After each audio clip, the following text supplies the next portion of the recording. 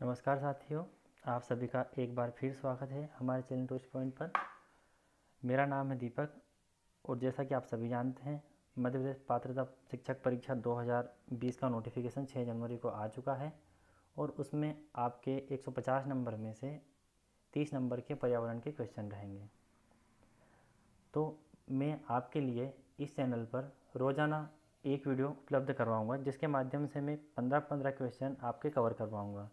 और प्रत्येक संडे को हम इसका एक टेस्ट रखेंगे, जिससे कि आप अपने आप को जाँच कर पाएँ या आप अपने आप को देख पाएँ कि आपको कितने अंक पढ़ने के बाद इसमें आ रहे हैं, या फिर आपको कितनी और अच्छी तैयारी करने की आवश्यकता है। हम जितने भी ऑब्जेक्टिव पढ़ेंगे, वन लाइनर के हिसाब से पढ़ेंगे, क्योंकि डिटेल में यदि हम पढ़ेंगे तो हमारे पास और भी सब्जेक्ट है, पर्यावरण एक ऐसा विषय है जिसको हम वन लाइनर के हिसाब से पढ़ सकते हैं। तो आज का वीडियो मैं प्रारंभ करने जा रहा हूँ। इसमें पंद्रह क्वेश्चन कवर करूँगा। आप मुझे कमेंट्स करके बताएँ वीडियो देखने के बाद में, क्या ये पंद्रह क्वेश्चन आपके लिए महत्वपूर्ण है या फिर मुझे इसमें कुछ परिवर्तन करना चाहिए? जो भी अपने सजेशन है, वो मुझे कमेंट बॉक्स में बताएँ।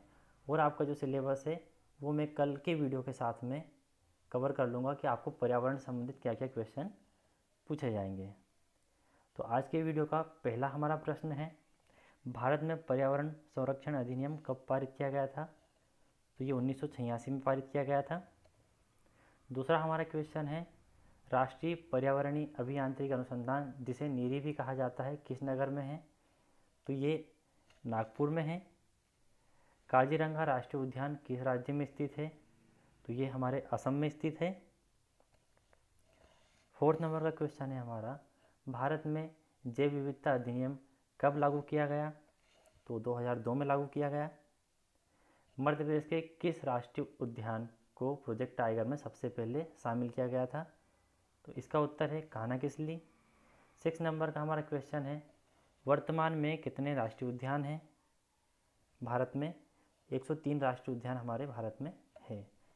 अगला हमारा क्वेश्चन है, भारत की सबसे बड़ी नहर का नाम क्या है?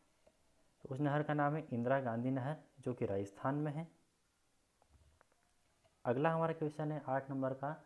भारत का हरित मंत्रालय कहा जाने वाला मंत्रालय है तो वह है पर्यावरण एवं वन मंत्रालय, जिसको हरित मंत्रालय कहा जाता है।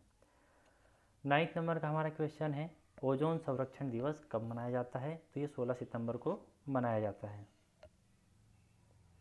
अगला हमारा क्वेश्चन है दस नंबर, फूलों की घाटी कहाँ स्थित है? जो कि उत्तराखंड में है। ग्यारह नंबर का हमारा क्वेश्चन है, विश्व पर्यावरण दिवस कब मनाया जाता है? तो वो भी इसमें आपका कवर हो जाएगा इस क्वेश्चन में कि पाँच जून को मनाया जाता है। लेकिन सबसे पहले कब इसकी शुरुआत हुई थी? तो वह आपकी उन्नीस सौ तिहत्तर में इसकी शुरुआत हुई थी। अगला हमारा बारह क्वेश्चन है, विश्व की ग्रीन हाउस गैसों में भारत की भूमिका कितनी है? पूरे वर्ल्ड में जितनी भी ग्रीन हाउस गैसेस है, उसमें भारत की गैसों का कितना भाग है तो वह पाँच प्रतिशत भाग है।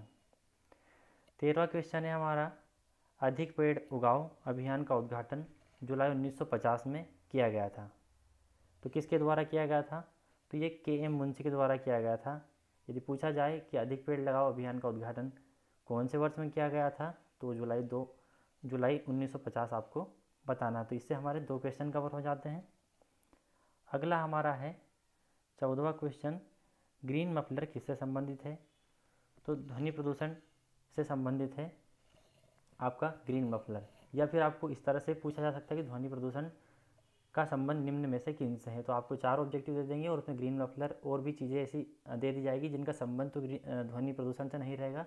लेकिन ग्रीन मफलर का संबंध हमने जैसा कि अभी पढ़ा है तो हम वहाँ उसमें टिक कर पाएँगे। अंतिम और पंद्रहवा आपका क्वेश्चन है, भारत में वन्य जीव संरक्षण अधिनियम किस वर्ष लागू किया गया? तो भारत में वन्य जीव संरक्षण अधिनियम उन्नीस सौ बहत्तर में सर्वप्रथम लागू किया गया था।